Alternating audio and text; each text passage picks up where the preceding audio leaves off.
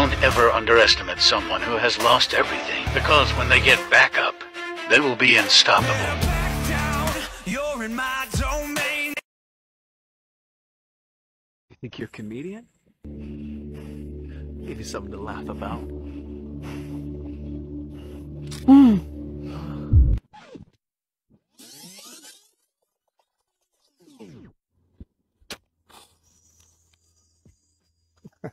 Hey, what's going on, Dad? Hey, so how the audition go? Ah, it was cool. Some TV show with The Rock. They got me playing a thug. They had you playing a role of a thug? Boy, you couldn't play a thug if your life depended on it. You know Hollywood. I mean, they throw do rag on any black actor. Next thing you know, he's a thug. Eight years serving your country, and this is how they treat you, huh? Yeah, it's okay. I mean, I'm gonna make it. Put my work in. Next thing you know, I'm gonna be the next Denzel Washington. Son, you got a baby on the way. When are you gonna put this acting stuff aside and get into the family business? You know it'll cover your law school tuition. Yeah, I know. Well, I don't know, Pop. I mean, this whole thuggish look, I'm kind of liking the way it looks on me. About me, you know? Well, I'ma ask your black ass to bring some milk on the way home. You know, your girl's been complaining all day.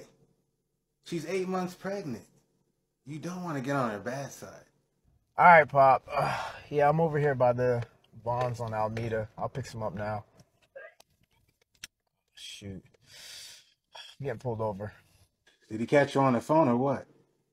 Yeah, should I uh do the whole my daddy's a lawyer card on him, Dad? I don't know. Maybe you can ask him.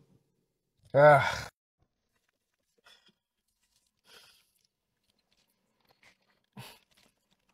Good evening, officer. Um, is there a reason why you pulled me over? Is there a reason why you pulled me over? Hey! I'm gonna be doing the questioning, all right? License and registration. This your vehicle? No, sir. It belongs to my dad. He let me use it for work. Um, I think I left my wallet and my other pens in the back. You mind if I grab it? No. Just give me your registration. Slowly.